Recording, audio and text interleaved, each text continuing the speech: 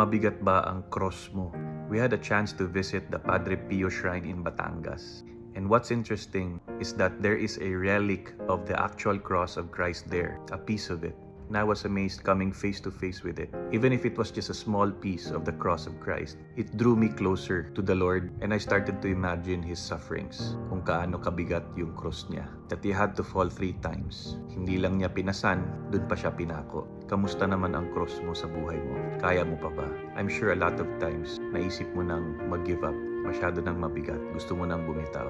But you know what? These crosses are meant to lead you to salvation. Kung pumayag si Lord na dadalin mo yung cross na yan, it also means you're also granted the grace to carry it. And as we bear our crosses, as you endure, we are drawn closer to the Lord Himself. We become more dependent on Him and we rely on His wisdom to be able to deal with our crosses from day to day. Maybe these three things can help you. First, surrender yourself to God's will. Seek His will through God's word. Second, carry your cross with love. Kasi kung maiinis ka lang, mafrustrate, pagagalit, mas lalong bibigat yan.